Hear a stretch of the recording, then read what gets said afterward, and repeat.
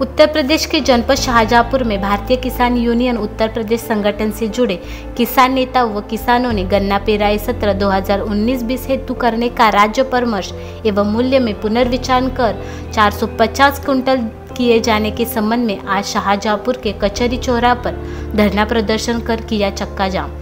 किसान नेता अजीत सिंह ने कहा कि आज जगह जगह प्रदर्शन की वजह से सारे किसान शाहजहांपुर नहीं आ सके।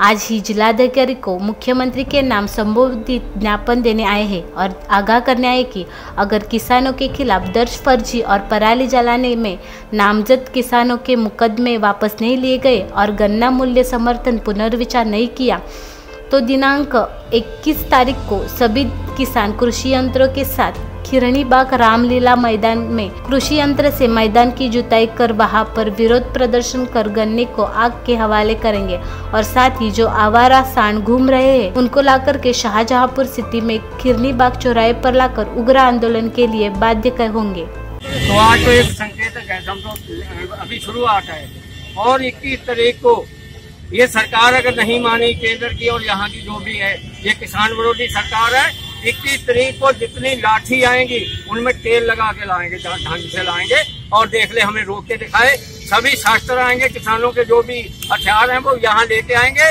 ये कितनी बात को जोतेंगे हम। यहाँ कल्टीवेटर चलेगा रोटावेटर चलेगा। हम हो सका तो फ्लैक्टेट भी जोड़ने लग जोड़ने लग जाएँगे। हमारी सुननी पड़ेगी भाई इस सरकार को। नहीं तो हम मानने वाले बिल्कुल नहीं मानने वाले। किसान से पंगा मत ले ले। बस यही हम कहना चाहते हैं किसान सुधर जाए। अरे भाई किसानों का उत्पीड़न हो रहा कई कई गुना बिजली के दाम बढ़ गए और पानी नहरों में नहीं है। उसके बाद धान बिका नहीं किसान का और पूर्ति हो गई। धान बिका ही नहीं और पूर्ति होगी ना पूरा हो गया इनका। और गन्ना गन्ने का पिछला पेमेंट अभी तक बाकी है और किसानों की आरसी काटी जा रही है। यहाँ हमारे साथ कुछ किसान ऐसे हैं जिन्हें ना जलाई। इन्होंने प्यार जलाया खेत खाली करना था भाई कैसे खाली करें? उनके ऊपर मुकदमे लगे पंद्रह पंद्रह हज़ार के उनके नोटिस आ गए।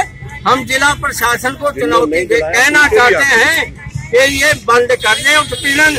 जहाँ तो किसानों के मुकदमे वापस ले ले उनका पैसा जो पड़ा है उनको वापस ले ले। नहीं तो दंगल होगा यहाँ कलेक्ट्रेट में पूरे उत्तर प्रदेश में। ये हम चेतावनी दे रहे हैं। हमारी पिछले तीन वर्षों से है कि गन्ना मूल्य बढ़ाया जाए और जिस प्रकार और महँगाई बढ़ रही है, उस प्रकार के अनुपात किसानों की आय नहीं बढ़ रही। किसानों की आय दोगुनी करने की बात जो केंद्र सरकार, राज्य सरकार कहती है, ये बिल्कुल एकदम किसान को बेवकूफ़ बनाना है, भोले भाले किसानों का छलावा है, ये अपना वोट बैंक तैयार करती है।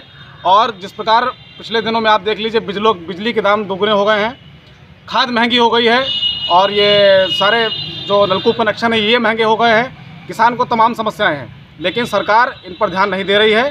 भोले भालों किसानों का शोषण हो रहा है और हम किसी कीमत पर इसको बर्दाश्त नहीं करेंगे।